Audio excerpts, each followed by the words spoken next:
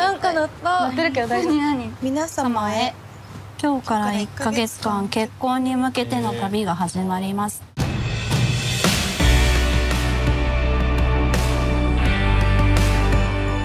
恋人期間はいらなくてすぐに結婚したい。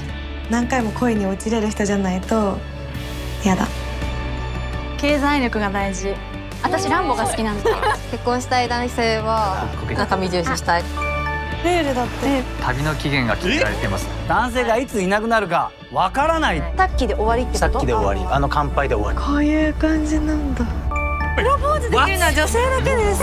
えプロポーズは本当はされたかったです。恋愛のスタートを私はサボってきたなんて難しい。あのダメだった時を 想像しちゃうのが一番怖いなって。だから相手へのアピールもそうだし自分のアピールも早くしとかないと。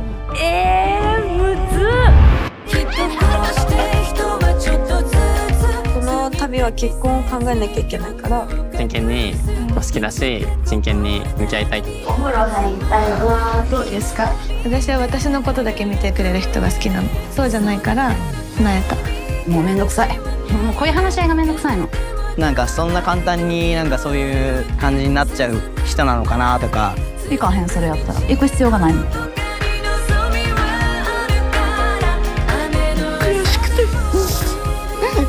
これが最後なのは嫌だ明日で言い合わないんだなってこの度